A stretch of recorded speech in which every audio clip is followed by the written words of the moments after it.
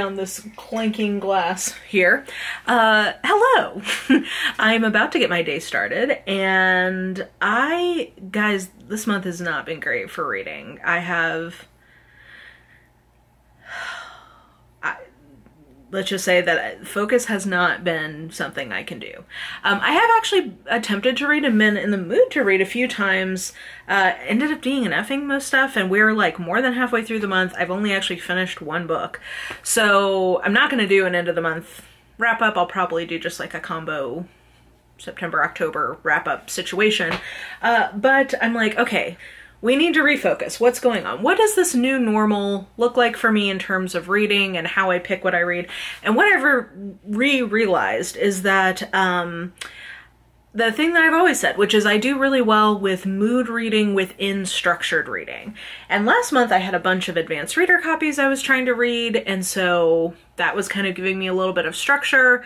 Uh, and this month I don't have that, so I've kind of just been at loose ends of what to do. So this is going to be my rest of the year TBR, really with the goal of kind of just like ref refocusing, letting myself, giving myself some ideas. Like honestly, this is a collaborative video in the sense of you guys are listening to me figure out what I need to read so that when I'm in the mood to read, I have things that I can go to and pick up. So uh, let's talk about the things I am telling myself I can read. And therefore, the next time I'm in the mood to read, I don't need to be at loose ends. So I've got kind of three buckets.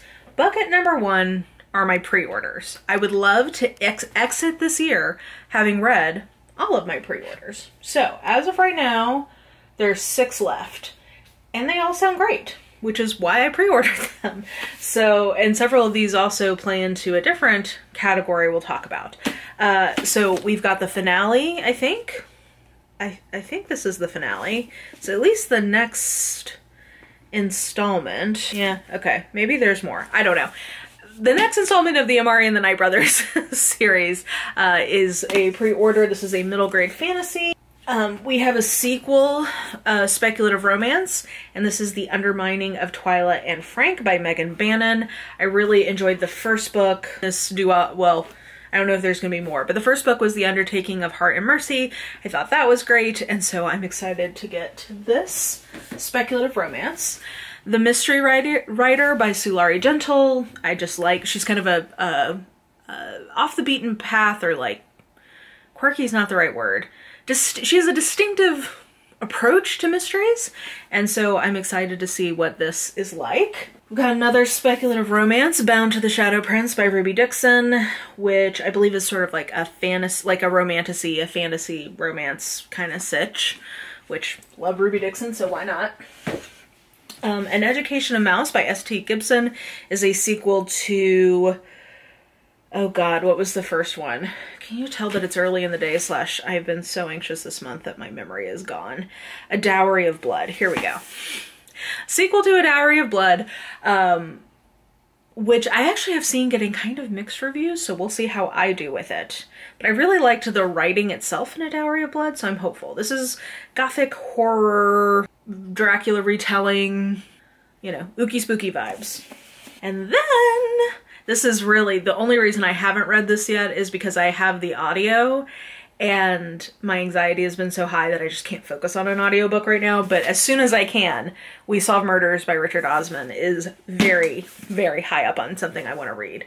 Maybe if I can get, I would love to read this before the end of September. We'll see. Um, we'll see what my brain is letting me do. But those are my pre-orders. I should also mention, uh, yeah, let's go into another category. So the um, other category is projects and book club things. So project wise, there's several new releases I picked up um, that are not, that were not pre-orders, but are things that I would like to get to since I picked them up when they were coming out.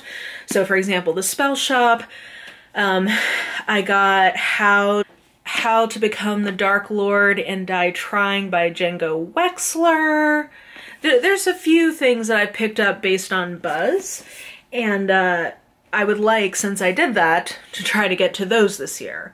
So I think that should be a priority. Book clubs. So for a booktube book club, The Luminous Dead is our October pick. That will be on Bethany from Beautifully Bookish Bethany. That will be on her channel. So this is one that I need to read for book club. I also know that I'm going to have at least one, if not two more picks for my workbook club. Um, I think our next one is the Full Moon Cafe, and it's about a cat cafe in Japan. So that sounds lovely. Um, and the cats like talk. I think it's like a cat, a cat run cafe because the cats are sentient. That sounds like a delight. So if I have any other book club picks that I need to read, I will prioritize those. And then, oh, usually in October, I like to try to, you know, you know, get into the, the vibes. The creepy vibes, the lightly spooky, lightly scary vibes. So for instance, The Witch's Guide to Fake Dating a Demon, which I've heard great things about this series, uh, let's read that because that has a witch in it. And let's read some horror things that are on my TBR. Let's read some things that are specific to the Halloween season. Yeah, let's get into it for October. So that is going to be what I prioritize reading in October. Though I will mention, I believe I'm going to endeavor to join the Chaos Demon writing challenge in October that Jess and Nerdy Nurse Reads, Jess Owens and Nerdy Nurse Reads are running because I desperately need to refocus on my web. Um, so I actually don't know how much reading I'm going to get done in October, but of the reading I do, I think I should be prioritizing ones that are seasonally appropriate. And then um, two other projects. One is I have not been reading much in project in, in my reading Roberts project. Uh, so I would love to get some more Nora Roberts reading in so that I can keep ticking away on that. Uh, and then one vlog that I would really love to do before the end of the year is I would like to finish my ABC reading challenge that I started because I actually think that that's perfect for where I'm at right now. It's a mood reading challenge that has a prompt to help me pick what I'm in the mood to read. Right now I'm on the letter J and I would love to get through the rest of that. I don't know how realistic that is, but I think that would be at least a good goal. Um, maybe I should set, because I think I was going to divide that into three videos, maybe I should set my goal to be, I would like to get through the second video of that, because yeah, that would be, I, I enjoyed that, and I think it is just the perfect blend of structure and mood. The last category of things I would like to prioritize reading that I'm putting on my TBR is making progress on my series. So I decided I'm not going to do a full video for my series check-in for August because I just didn't make enough progress, I feel like. Though I'll put in some stats here of notable things. Um, things that come to mind, I know I only had like a 44% adherence rate to the TBR that I'd set myself, which is definitely the lowest and makes sense just in terms of the kind of like slumpage slash new normal that I found myself in. Um, I did set a new TBR. Most of it was like half of what I had had on my TBR just rolled over, and then I picked some new ones. Um, I will say one thing I made really good progress on is uh, reducing the number of books or the number of series I have left to read that I haven't started yet. So because I've been doing a lot of sort of like try a chapter type challenges, that has included a lot of beginnings of series. So I actually have have cleared off a number of those from my TBR and I have addressed all of the series that I said that I really wanted to start or DNF in 2024. I did a video about that um previously. I'll try to remember to link that, but yeah, so I feel like in terms of making progress on reading TBR series stuff, maybe not my best, but in terms of overall driving towards my keeping it fresh goal for the TBR, I do think that, you know, we've made progress.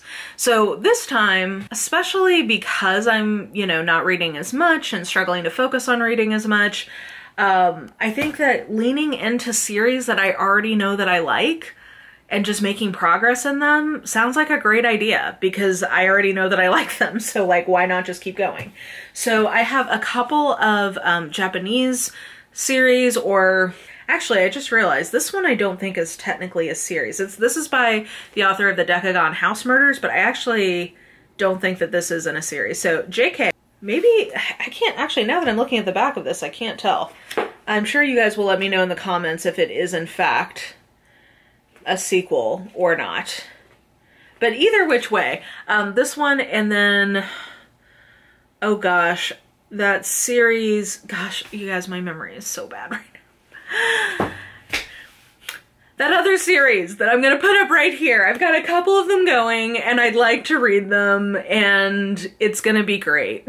I think that I'll enjoy them. They're very, very me kind of books. They're just true blue mysteries. Okay, moving on this Sinclair uh, mystery quartet. I've read two, I've got two left. That would be good to read.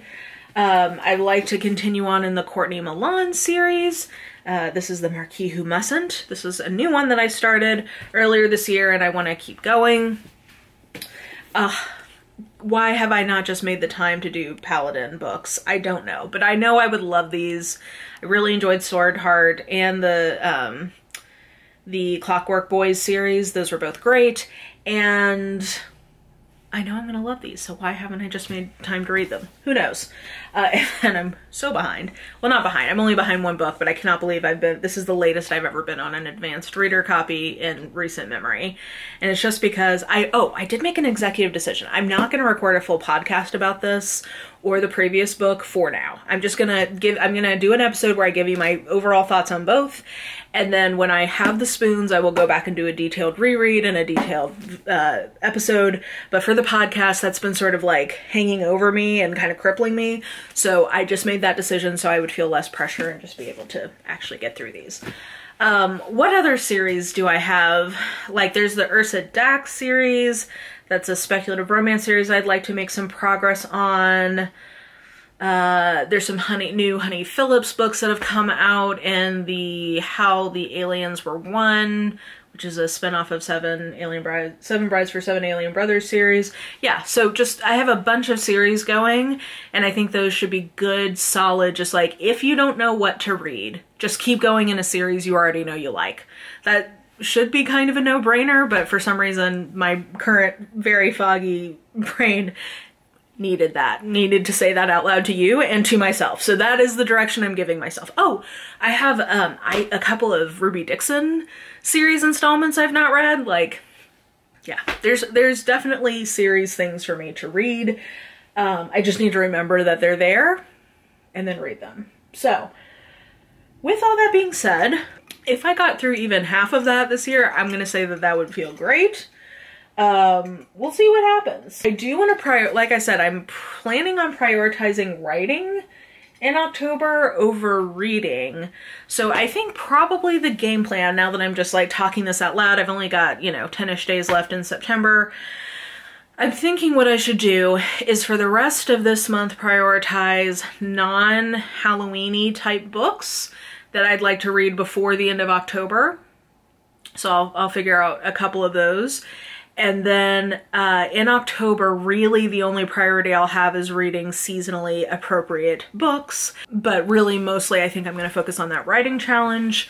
So I think that's kind of my game plan for the short term. And then the long term, once I get through October and I have more reading time because writing will be less of an intensive focus, then hopefully I'll make some progress on the rest of the books that we talked about in this video. So thank you for helping me verbally process what it is I need to read because I think, yeah, if you cannot tell, I am very out of sorts right now and very rambly and very just like my brain is not doing great. Um, but the reasons for my brain not doing great should be coming to an end by October. And if that's the case, and it should be, hopefully that thing causing me stress and anxiety, which then triggers my autoimmune disease, which then creates fatigue and creates brain fog. That cycle, I believe the main source of it should be being rectified in the next couple of weeks. And so I'm hoping that once that happens, we'll just get back to my new normal and things will be easy breezy, lemon squeezy. Uh, but until that happens, this was very helpful for me. I hope it was helpful for you. I am rambling now and repeating myself. I'm sorry. That's just where we're at. I hope you are doing well. Let me know if you've got things that you are like, I gotta get this read by the end of the year. Let me know um, if you've read any of the books I talked about and you're either excited or dreading me reading them. Um, yeah, let me know all of that below.